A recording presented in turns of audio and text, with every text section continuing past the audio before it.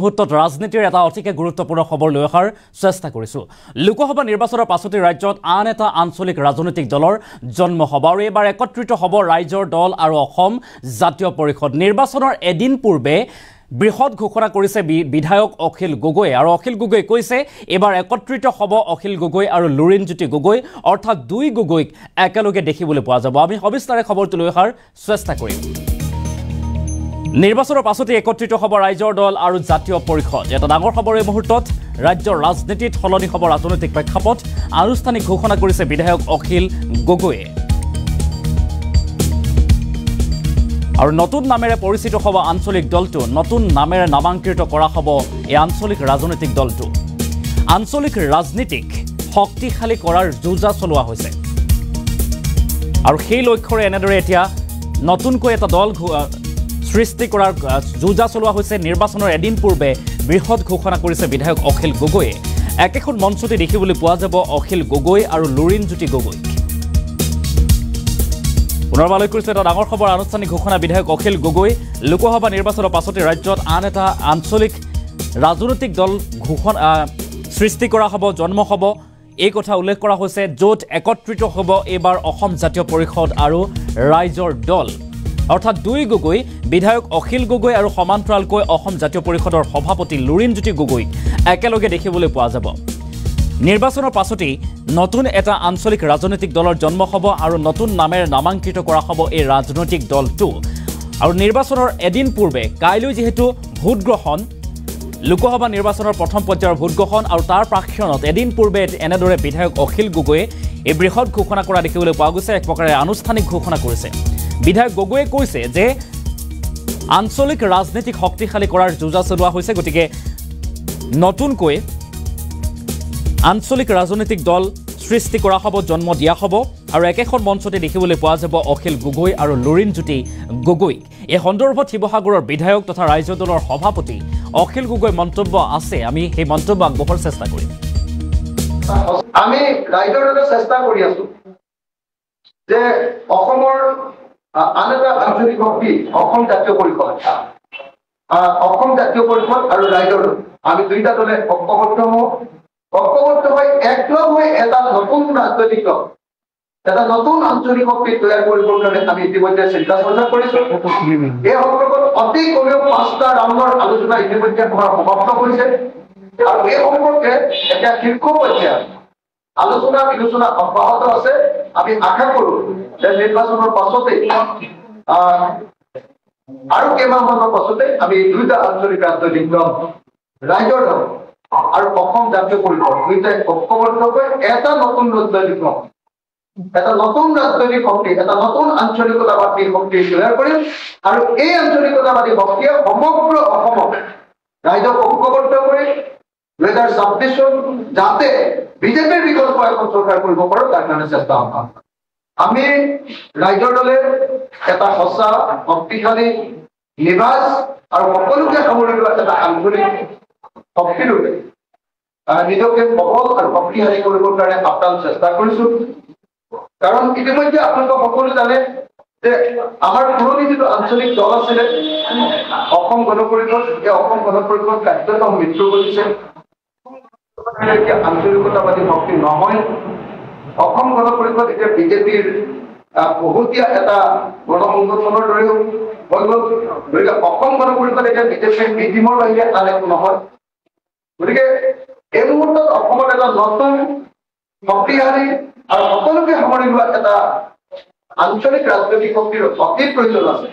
তেনেকুৱা সময়তে প্ৰত্যেক দিনাই আজি কালি পৰহি প্ৰত্যেক দিনাই আমাৰ ৰাইজৰ দলত যি ধৰণে শিৱসাগৰ অঞ্চলৰ শিৱসাগৰ জিলাখনৰ বিভিন্ন ঠাইৰ পৰা মানুহে যোগদানত অংশগ্ৰহণ কৰিছে ৰাইজৰ দলত যোগদান কৰিছে এতিয়া প্ৰমাণ কৰিছে যে এই মুহূৰ্তত আঞ্চলিকতাবাদী শক্তিৰ যথেষ্ট গুৰুত্ব আছে আমি ৰাইজৰ দলে চেষ্টা কৰি আছো যে অসমৰ আন এটা আঞ্চলিক শক্তি অসম জাতীয় পৰিষদ অসম জাতীয় পৰিষদ আৰু ৰাইজৰ।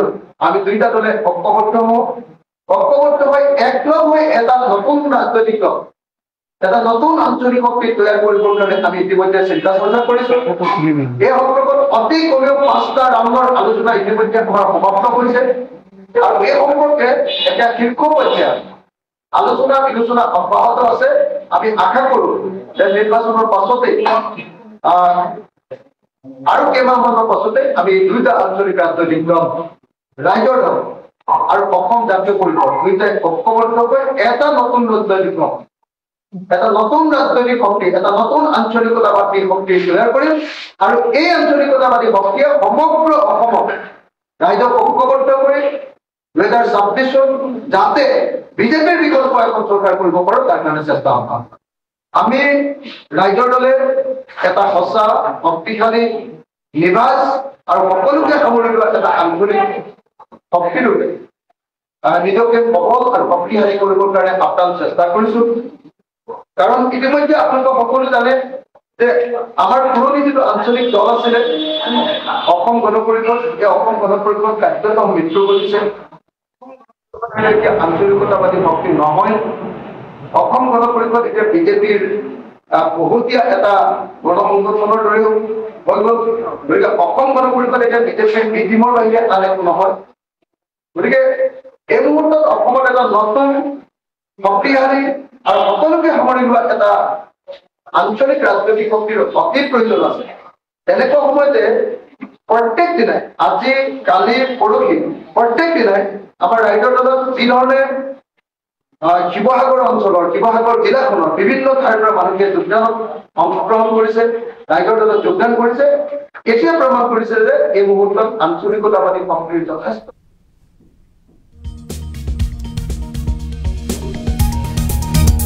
আৰু নিৰ্বাচনৰ পাছতে একত্ৰিত হ'ব ৰাইজৰ দল আৰু অসম জাতীয় পৰিষদ। এনেদৰে বৃহৎ ঘোষণা কৰিছে এতিয়া নিৰ্বাচনৰ এদিন পূৰ্বে বিধায়ক অখিল গগৈয়ে। নতুন নামেৰে পৰিচিত হ'ব আঞ্চলিক দলটো আৰু আঞ্চলিক ৰাজনীতিক শক্তিশালী কৰাৰ উদ্দেশ্যেৰে এনেদৰে এতিয়া আন এটা আঞ্চলিক দল গঠন কৰা হ'ব বা জন্ম দিয়া হ'ব বুলি উল্লেখ কৰিছে। আৰু যৌথ উদ্যোগত অৰ্থাৎ অসম জাতীয় পৰিষদ আৰু ৰাইজৰ দলৰ একত্ৰিত হৈ এনেদৰে আন এটা ৰাজনৈতিক দল গঠন কৰা হ'ব বুলি ঘোষণা কৰিছে। অৰ্থাৎ দুই গগৈ একলগ হ'ব। লুৰিণজ্যোতি গগৈ আৰু বিধায়ক অখিল গগৈ একলগ হৈ এনেদৰে আন এটা আঞ্চলিক ৰাজনৈতিক দল গঠন কৰা হ'ব বুলি আনুষ্ঠানিক ঘোষণা কৰিছে আজিৰ দিনটোত বিধায়ক অখিল গগৈয়ে। আৰু যিটো দলৰ নাম নতুনকৈ নাম দিয়া হ'ব অৰ্থাৎ নতুন নামেৰে নামাংকিত কৰা হ'ব আঞ্চলিক ৰাজনীতিক শক্তিশালী কৰাৰ উদ্দেশ্যেৰে এনেদৰে এতিয়া আন এটা ৰাজনৈতিক দল গঠন কৰাৰ প্ৰয়াস কৰা হ'ব বুলিও আহ্বান বা মন্তব্য প্ৰকাশ কৰিছে এতিয়া বিধায়ক অখিল গগৈয়ে। পুনৰবাৰ বিধায়ক অখিল গগৈ সেই মন্তব্য আমি আগবঢ়োৱাৰ চেষ্টা কৰিম। আমি ৰাইজৰ দলে চেষ্টা কৰি আছো যে অসমৰ আন এটা আঞ্চলিক শক্তি অসম জাতীয় পৰিষদ। অসম জাতীয় পৰিষদ আৰু ৰাইজৰ আমি দুইটা দলে ঐক্যবদ্ধ হওঁ। ঐক্যবদ্ধ হৈ একলগ হৈ এটা নতুন ৰাজনৈতিক দল এটা নতুন আঞ্চলিক শক্তি তৈয়াৰ কৰিবৰ কাৰণে আমি ইতিমধ্যে চিন্তা চৰ্চা কৰিছো। এই সন্দৰ্ভত অতি কমেও পাঁচটা ৰাউণ্ডৰ আলোচনা ইতিমধ্যে সমাপ্ত কৰিছে আৰু এই সম্পৰ্কে এতিয়া শীৰ্ষ পৰ্যায়ত আলোচনা, বিলোচনা অব্যাহত আছে। আমি আশা কৰো যে নিৰ্বাচনৰ পাছতেই আৰু কেইমাহমানৰ পাছতে আমি দুয়োটা আঞ্চলিক ৰাজনৈতিক দল ৰাইজৰ দল আৰু অসম জাতীয় পৰিষদ দুয়োটাই ঐক্যবদ্ধকৈ এটা নতুন ৰাজনৈতিক দল এটা নতুন ৰাজনৈতিক শক্তি এটা নতুন আঞ্চলিকতাবাদী শক্তি তৈয়াৰ কৰিম আৰু এই আঞ্চলিকতাবাদী শক্তিয়ে সমগ্ৰ অসমক ৰাইজক ঐক্যবদ্ধ কৰি দুহেজাৰ ছাব্বিছত যাতে বিজেপিৰ বিকল্প এখন চৰকাৰ কৰিব পাৰো তাৰ কাৰণে চেষ্টা অব্যাহত আমি ৰাইজৰ দলে এটা সঁচা শক্তিশালী নিবাজ আৰু সকলোকে সামৰি লোৱা এটা আঞ্চলিক শক্তিৰূপে নিজকে সবল আৰু শক্তিশালী কৰিবৰ কাৰণে আপ্ৰাণ চেষ্টা কৰিছো। কাৰণ ইতিমধ্যে আপোনালোকে সকলো জানে যে আমাৰ পুৰণি যিটো আঞ্চলিক দল আছিলে অসম গণ পৰিষদ এই অসম গণ পৰিষদ কাৰ্যতঃ মৃত্যু এতিয়া আঞ্চলিকতাবাদী শক্তি নহয়।